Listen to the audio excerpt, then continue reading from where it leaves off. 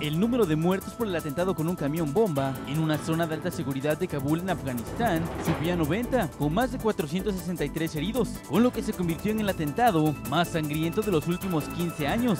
El camión cargado con explosivos explotó la mañana de este miércoles en una zona de seguridad donde se encuentran las embajadas de Kabul cuando cientos de personas se dirigían a sus puestos de trabajo. Rusia disparó este miércoles cuatro misiles de crucero contra posiciones de la organización yihadista Estado Islámico cerca de la ciudad de Palmira en el centro de Siria. Los misiles alcanzaron todos los blancos, en particular refugios en Palmira, donde se encontraba material pesado y extremistas. La Armada rusa resaltó que quedó demostrada su capacidad para lanzar ataques eficaces con armas de alta precisión en un plazo mínimo una vez recibida la orden.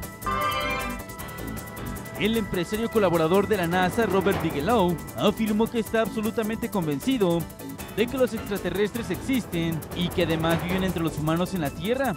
El también director de la compañía, Bigelow Aerospace, dijo que le da igual lo que piense la gente de sus creencias, porque eso no cambiará la realidad de lo que sabe. Su compañía aeroespacial desarrolla y fabrica estaciones espaciales para uso comercial y tecnologías del futuro que permitirán a los seres humanos habitar en un futuro el cosmos.